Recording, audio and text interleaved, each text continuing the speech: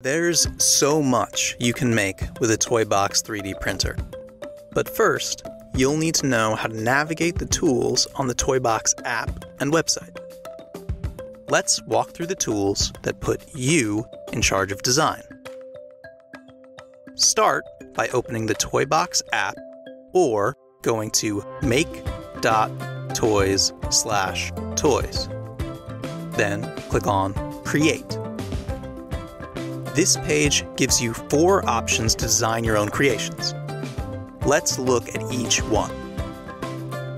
First, let's build a buddy. Buddies are toys designed for users to pick and choose clothes, expressions, and more.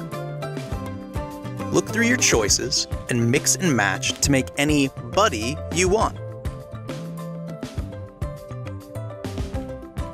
That looks great you can hit the check mark, give it a name, and print here. But let's see what else you can make. Go back to the creator space and click Build a Car. Here, you can build cars, boats, trains, and more. Start over here. Then you can change the shape. and then the wheels. And now you're ready to roll. Click the check mark and give it a name to start printing. Or go back and explore more options. Let's click Draw. Toybox has lots of tools to help you draw your own design you can start with shapes. Then add some text.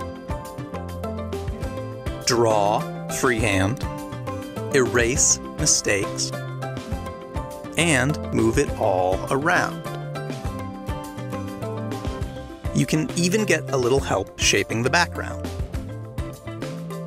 Click Create, and your design is ready to print. But let's check out one more way to make your own prints by going back and clicking Picture. Here, you can upload a picture and Toybox will print it out. Simple pictures like drawings and logos tend to work better than photos with lots of little details. But you can try all kinds of images. You can invert the color to change what the model will look like and erase details you don't need. Then click Create when you're ready. These four options make it easy for anyone to start getting creative with Toybox. So you should explore them all. Have fun and happy printing!